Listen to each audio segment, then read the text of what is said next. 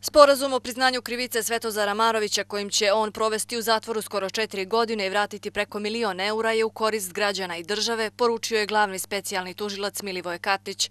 On je tako odgovorio poslaniku DF-a Nebojši Medojeviću koji tvrdi da su tužilački sporazumi blagi. Šalje se jedna opasna poruka da je pravda u Crnoj Gori e, moguće kupiti, da se moguće s njom oko nje trgovati, i da e, onaj ko vrši krivičan dijela ne nosi društvenu stigmu, barem da je kriv, barem da ga je stid. Imajući u vidu sve ono što je u sporazumu tužilaštvo saznalo o drugim počinjocima krivičnih dijela posebno o novcu i sredstvima koje ova kriminalna grupa bila prisvojila, je tužilaštvo mišljenja da je ovo alat, odnosno ovaj sporazum u korist specijalno državnom tužilaštvu, odnosno države Crne Gore i građana Crne Gore. Medojević je rekao i da ima informaciju da je viša državna tužiteljka Vesna Jovićević 12. jula dobila pod podatke o identitetu osobe koja je dan ranije u Podgorici pokušala da ubije bivšeg šefa policijskog ocijeka za organizovani kriminal Predraga Šukovića.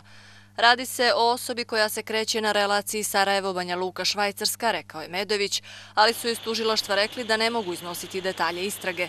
Pozitivna Crna Gora potegnula je pitanje političke korupcije u parlamentu, za šta je optužuje ostatak opozicije. Da li vi imate prijave? Da li imate dokaze Da li sprovodite istražne radnje vezano za korumpiranost Skupštine? Meni nije poznato da je do sada bilo prijave u tom pravcu. SDP je zanimalo zašto nije otkriven ni jedan napadač na policiju tokom protesta Demokratskog fronta 24. oktobra prošle godine. Da iz policije konkretno kažu da ne mogu da identifikuju lice.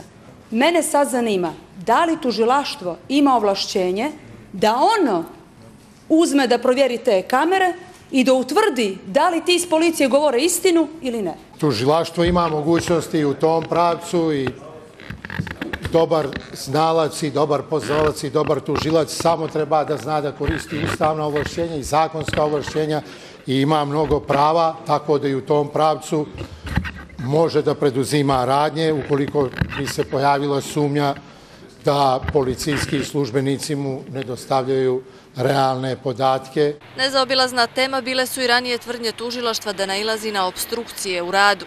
Opozicija je stoga pitala Stankovića kako će se izboriti s tim. Da će državno tužilaštvo procesuirati sve slučaje gdje postoji obstrukcija prema tužilaštvu i uopšte prema državi i da smo riješeni na to. Stanković i Katnić izbjegli su da govore o tvrdnjama opozicije da je vrh vlasti nezadovoljan njihovim radom, što je navodno rečeno i na Vijeću za nacionalnu bezbjednost, a nisu željeli previše da pričaju ni o tome što će slučaj Limenka vjerovatno ostati bez krivice nekih najvećih funkcionera vladajuće koalicije.